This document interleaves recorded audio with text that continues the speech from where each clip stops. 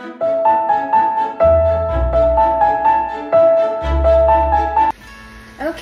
we are going to make goulash tonight. I think it is the number one Southern staple one pot meal. This is one of my favorites to use while I am cleaning out the refrigerator. And I've actually done that today.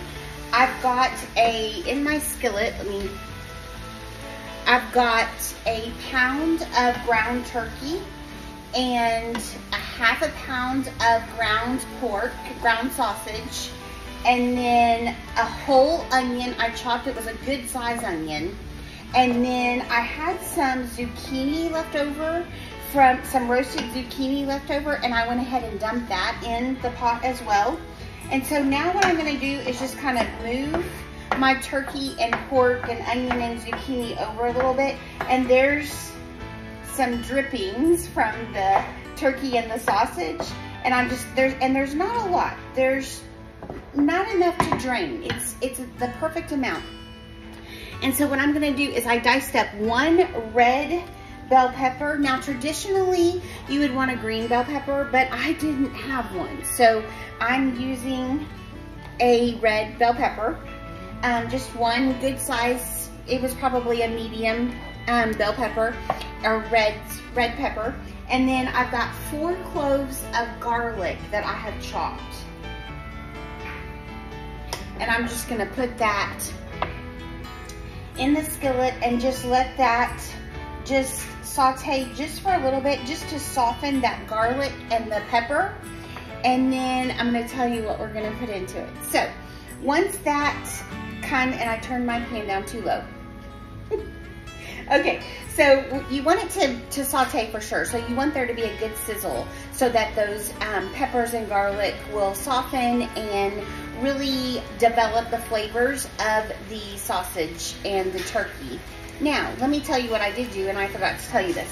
For the sausage and the turkey, I added a teaspoon of salt. And then maybe when I added the onions maybe a, I did a quarter teaspoon, so the most of it was a teaspoon and a quarter um, of salt.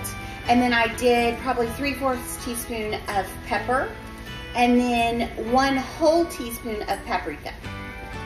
So that was the beginning of the seasonings in the goulash. Now you can add other seasonings that is basically what I add. I am out of granulated garlic. If I had granulated garlic, I would add a teaspoon of that as well. Um, we had an accident with our garlic and it is not time for me to pick up my Azure standard order yet.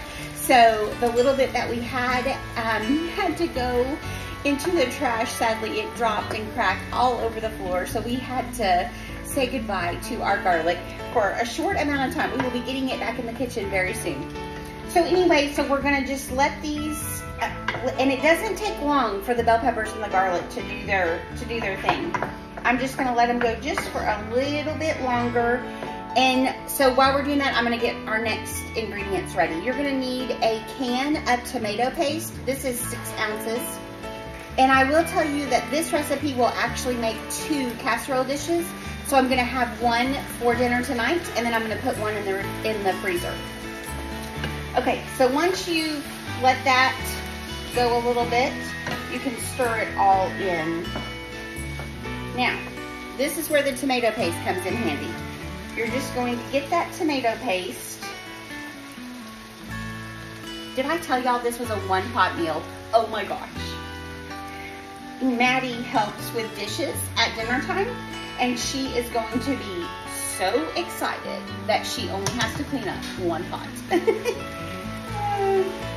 How many, let me know in your comments if your children get excited about one pot meals if they do the dishes. okay, so because of those little bit of the drippings in the turkey and the sausage, you're just going to stir that potato or tomato paste around and let it soak up and just kind of um, work it all into your meat so that the flavor of that tomato sauce gets dispersed all throughout the meat. And then we're gonna let that saute for just a little bit, just to kind of cook that flavor into the meat. Okay. All right. Now, once you've done that, and it doesn't take long, you're just gonna let it sizzle just for a little bit. Kind of like when you cook a roux and you let the flour cook for a little bit before you add the uh, milk or, or your stock. That's what you're doing here. Okay, now we're gonna do a um, 28 ounce or 26 ounce jar of marinara sauce. You could also do uh, crushed tomatoes if you would like. You're just gonna stir that all up. And then you're going to take your stock, which would be two cups. And so I have a pint jar of homemade chicken broth or chicken stock. It's not bone broth because it's not gelled. I did can it, so it's it's past that, but it's about two cups and you're just gonna pour that into, I kind of rinse my marinara jar out. And then you're going to take a can of tomatoes, and I really should have gotten two. Let me run go get one more. So I use organic diced tomatoes. You can use whatever kind of tomatoes. You could also go with a Mexican trend with this, which I have done. And instead of the um, fusilli einkorn um, pasta, I actually use a um, macaroni noodle and I add corn and black beans and some different spices to it. Okay, so this is your pot for your noodles. So now what you're gonna do is you're just gonna take a 12 ounce um, box of noodles. You can use macaroni fusilli, the bow tie pasta, any of the little pastas.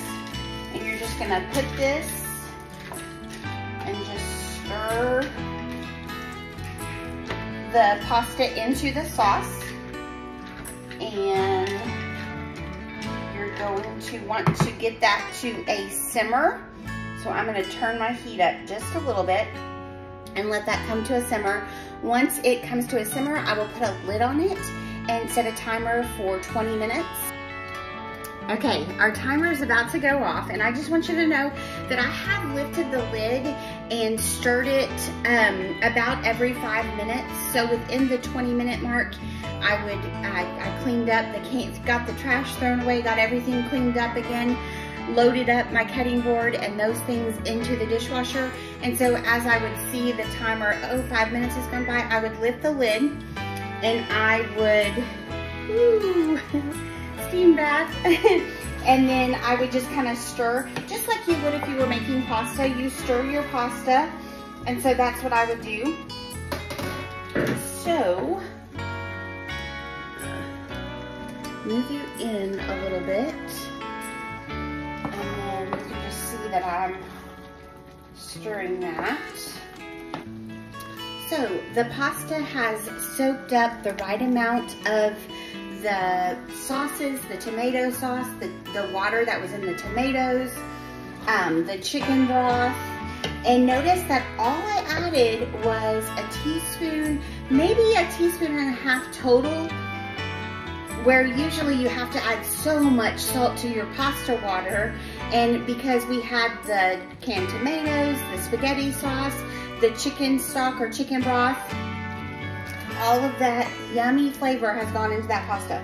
So then what I do is I just get a pasta and I just make sure that I can cut it in half with my fork and then I know it's ready.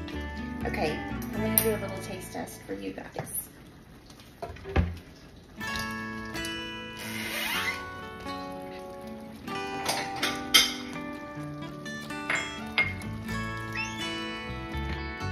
I made sure and got a little bit of the zucchini, a tomato, um, a little bit of the turkey. I don't see any sausage. And then a little bit of the pasta. We know that it's gonna be hot. How many of you all grew up on goulash? I know I loved it when I went to my grandma Opal's house and she was serving goulash and I'm pretty sure that I know I know she served it regularly and then my family, my mom and dad made it regularly. Goulash is just a southern staple, I think. And it is an amazing one pot meal.